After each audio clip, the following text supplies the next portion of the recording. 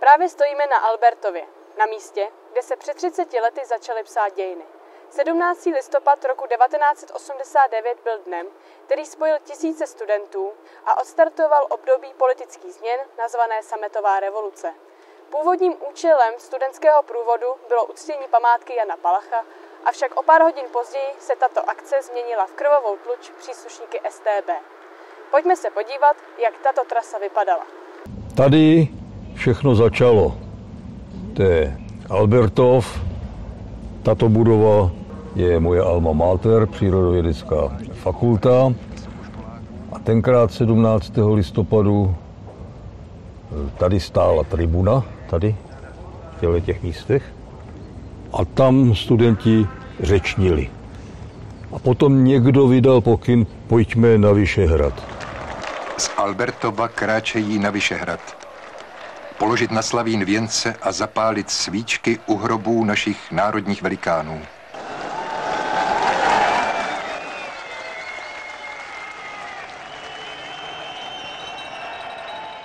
Vyšehradě potom někdo dal pokyn, budeme, teď nevím kam, možná na hrad, já už si nepamatuju.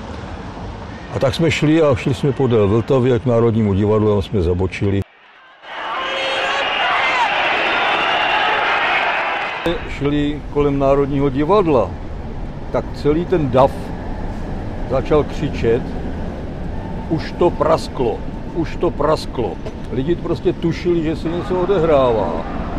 No a oni udělali tu chybu, že prostě tady použili násilí. Tady za mnou je eh, ulice Karoliny, Karoliny Světlé. A tenkrát tam byla skovaná jedna jednotka těch bílých přilep SMBáků a když jsme prošli, já jsem stál asi tady, v těchto těch místech, tak vyběhli ven a rozřízli ten náš průvod a udělali takový kotel, který potom zmasili. Tamhle u Pernštína tam byl první kordon těch eh, hluchavek, my jsme jim říkali hluchavky, měli ty bílé přilby, ty SMBáci. A ti ze předu i ti ze zadu nás začali mlátit. A já jsem sebou měl tenhle ten plagátek. A ten plagátek jsem, to je replika, to není ten původní, poněvadž mi roztrhali SMBáci. A bylo tam napsáno Jan Palach, což teda bylo jako rudej hadr na ně. To jméno se nesmělo vyslovit tenkrát. Takže mi to roztrhali, majzli mě pendrekem a mě se podařilo prorvat ten zadní kordon a, a utek jsem. Tyto časy jsou naštěstí za námi a již přes čtvrt století žijeme ve svobodném demokratickém státě. Zeptali jsme se proto známých tváří, co znamená svoboda pro ně. Svoboda slova pro mě znamená možnost říkat pravdu a nebát se.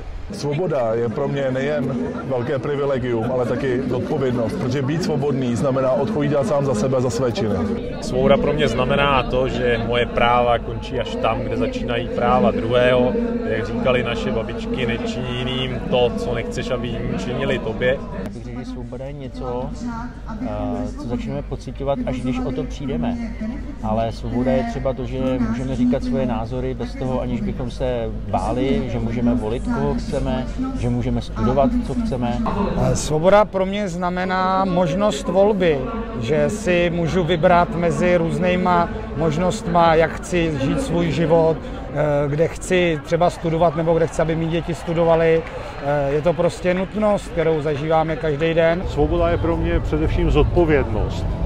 Zodpovědnost vůči sobě, vůči svým nejbližším, vůči společnosti. Svoboda je taková nehmatatelná, neviditelná substance, podobná jako třeba vzduch nebo voda, když ji máme, tak si ji nevšímáme, máme pocit, že o ní můžeme klidně přijít, co to je.